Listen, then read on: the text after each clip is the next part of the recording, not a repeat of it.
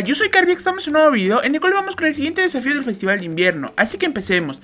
Y bueno, pues en esta ocasión lo que nos dice el desafío es que necesitamos desplazarnos con los pies congelados, así que vamos allá dentro de una partida para explicarles qué es lo que tenemos que hacer.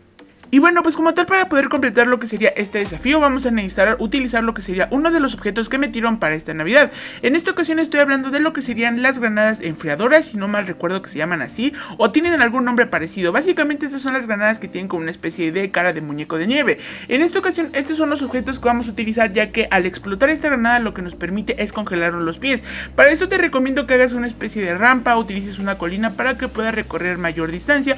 Y bueno, como tal para poder hacer esto únicamente la lanzas a tus pies y como puedes ver automáticamente cuando explota, automáticamente ahí te congela lo que serían los pies y ahí tienes que empezar a desplazar lo que sería la distancia que nos pide para lo que sería este desafío. Creo que por el momento este es el único método para congelar los pies o por lo menos este es el único que por el momento recuerdo, pero sin duda alguna es bastante sencillo, las granadas no son nada complicadas de encontrar, de hecho las puedes encontrar tanto en cofres, tanto en el suelo, de hecho prácticamente en cualquier lugar las puedes encontrar ya que son de categoría común, entonces como tal no debería de ser complicado el poder encontrar alguna de estas granadas alrededor del mapa. Entonces, pues con las tres que te salen o con las tres que te den, pues sería suficiente para poder completar lo que sería este siguiente desafío del Festival de Invierno.